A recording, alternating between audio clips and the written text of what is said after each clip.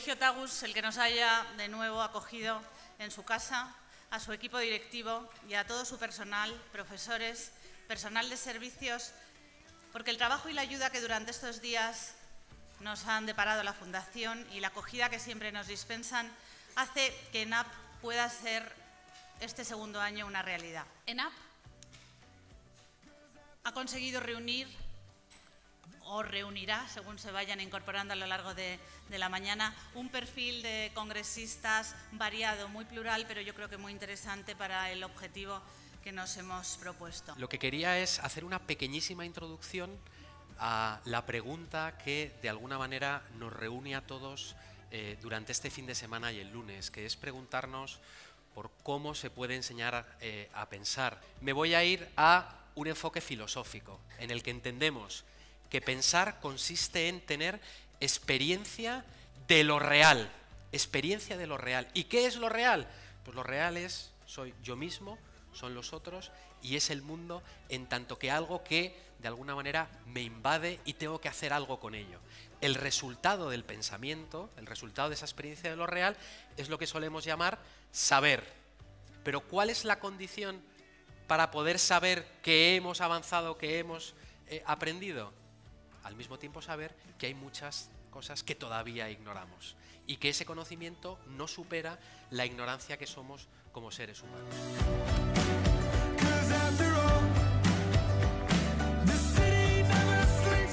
Los valores conciben vida libre y justa. Los valores crean posibilidades de vida digna y desde luego no son, como he dicho, ideas abstractas carentes de fuerza o de pensamiento. Que así como conozco yo a muy buena gente, que no es muy buena profesora o profesor, yo no conozco a ningún buen profesor o profesora que no sea buena gente. A ninguno hay que querer a los alumnos y esperar algo de ellos. Si se desea garantizar el fracaso, nada es más seguro que desconsiderar a alguien y no esperar nada de él. Si los valores son necesarios, solo transmitiremos los valores por contagio si forman parte de nuestro propio vivir. No podemos ser predicadores de valores. Tenemos que vivir esos valores porque se enseña por contagio, por contacto. Es contagioso lo que vivimos. No solo contagiosa la enfermedad, es también contagiosa la salud. Hay que poner la educación en el corazón de la economía. Una economía sin educación es una economía sin corazón. Y la educación eh, es la mejor inversión. ¿Cuántas veces habrán citado ustedes esta frase? Pues yo se la cito una vez más. Si a ustedes les parece, a alguien le parece caro invertir en educación, prueben ustedes a invertir en ignorancia. Y entonces van a ver lo que pasa.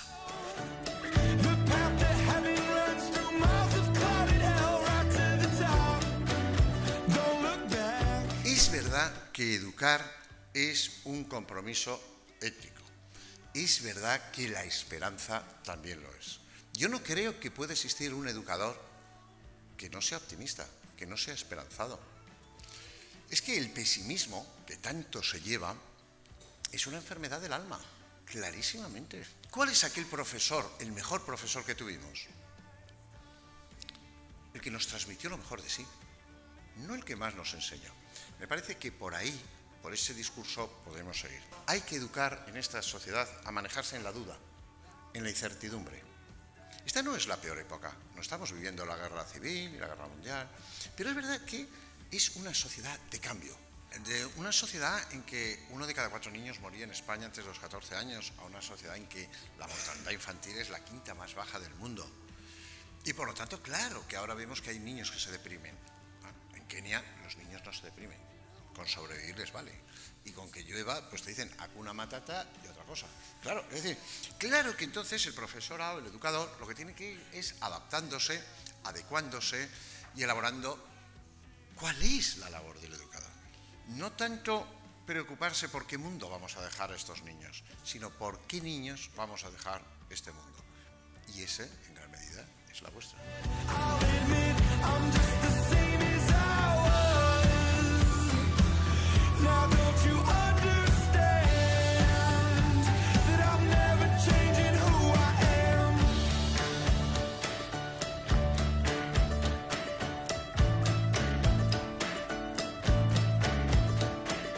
Yo creo que ahora cuando un profesor entra a su clase, entiende que tiene que asociarse con sus alumnos. Entiende que tiene que hacer a sus alumnos cómplice del aprendizaje. Tiene que ir buscando compañeros de aprendizaje. Yo creo que el modelo bancario de la educación ya le hemos pasado. El modelo bancario ese, ¿sabéis cuál es, no? Ese yo tengo y yo te voy dando. Los educadores estrella no definen un colegio bueno. ¿eh? Lo que define un buen colegio es creer que somos comunidad educadora. Y eso significa que uno más uno son tres. Eso significa que me tengo que juntar con mi departamento y tenemos que hacer cosas nuevas y tenemos que pensar juntos. Eso significa que me tienen que dar algún tiempo para que yo piense con mis compañeros. No conozco un grupo de más de tres educadores que haya planteado algo incorrecto. Ahora, conozco así de casos de profesores estrellas que, que se han equivocado de cabo a rabo. Vamos buscando permanentemente un sistema evaluador clasificador, etiquetador, comparativo, competitivo, donde el error es algo a evitar. O cambiamos ese paradigma, o cambiamos esa concepción de la educación y de la evaluación, por tanto, o estamos condenados a repetir modelos. No vamos a educar en la libertad, en la libertad de equivocarte, en la libertad de hacerlo mal para progresar.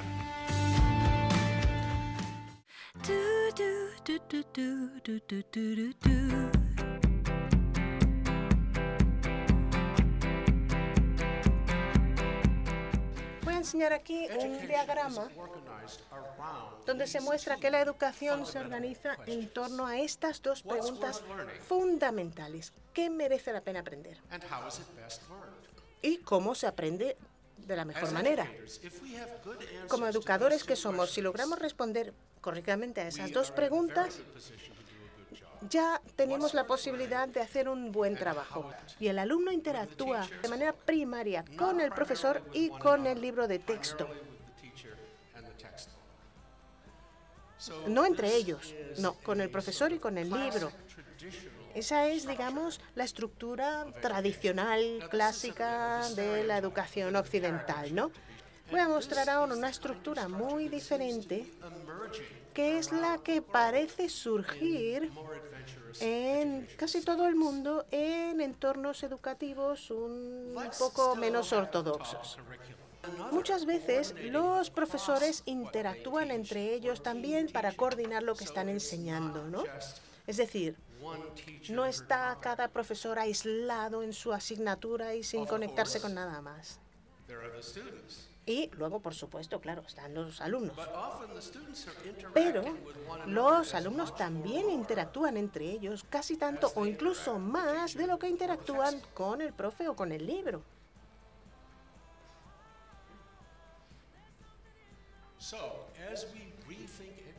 Y bueno, a medida que reconsideramos la educación, conviene considerar también un mejor equilibrio entre pues, eh, estas ah, grandes revelaciones que nos ayudan a entender el mundo y esta, estos objetivos de conocimiento, información y rendimiento.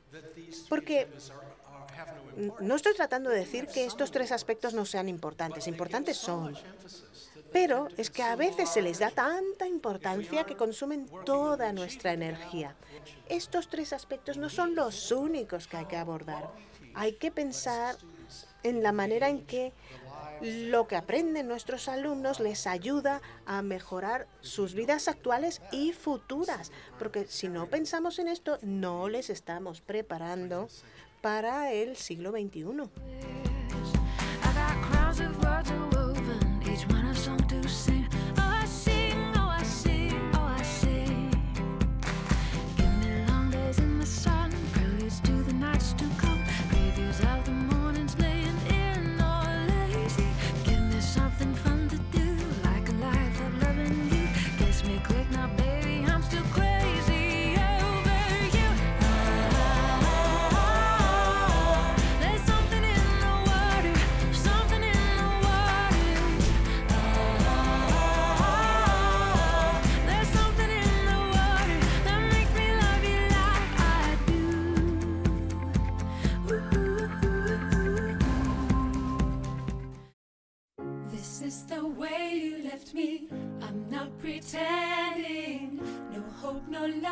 Glory, no happy ending.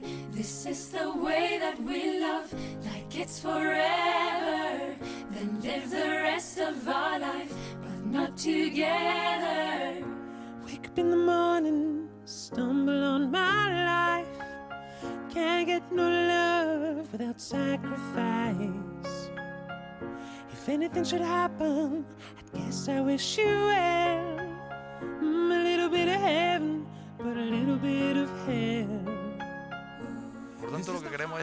fundamentalmente educar para la vida a través del movimiento. El objetivo es, si yo, profesor de educación física, eh, soy capaz de que a los niños hagan un mortal, el equilibrio invertido, no sé cuánto, pero cuando termine la escolarización obligatoria esos niños son sedentarios, ¿a qué he educado? ¿Cómo le puedo hacer frente? Pues de forma multidisciplinar. De forma multidisciplinar porque eh, tenemos que ir de la mano. Todas las personas que trabajemos para la salud tenemos que ir de la mano. La diferencia entre los servicios médicos, sanitarios y nosotros es que al médico van algunos niños, mientras que por nosotros pasan todos los niños. Pero ¿qué pasa? Que continuamente nos bombardean otro tipo de, de líderes, de líderes, y sobre todo de otros deportes, y no voy a hablar de, ni del Madrid ni del Barça ni nada, pero mi hijo que haga deporte, es bueno que tú, no, es fundamental que en los colegios, aquí en la piscina, un pabellón de la leche y tal, que es bueno que los niños hagan deporte, porque el deporte educa, es lo mejor que el niño puede hacer. Es mentira. El deporte no educa por sí solo, el deporte no es intrínsecamente educativo. Si el, que está al frente del grupo de niños es un tarao, es un desequilibrado, es un fanático, el deporte favorece la discriminación, la violencia, la competitividad y una medalla nunca vale más que la salud de un niño.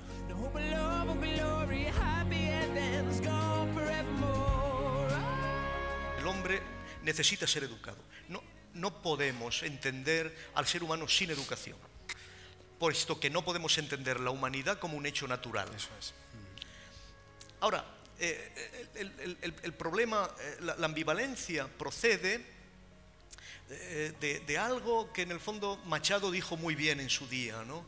que eh, mientras que hay ciertas cosas que solo te pueden enseñar los demás, hay otras ciertas cosas que solo puedes aprenderlas tú. El principio básico de toda educación consciente de sí misma es el principio del n más 1.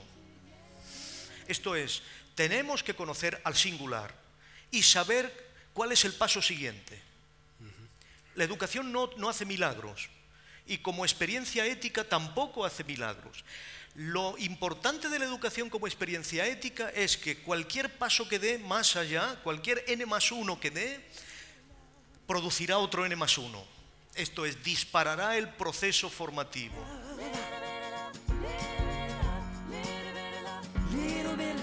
Estoy ya llegando a su cerebro a través de cosas lógicas, matemáticas, interpersonales. Ya yo sabía por esta época de, de inteligencias múltiples, pero no estuve muy enterada en eso.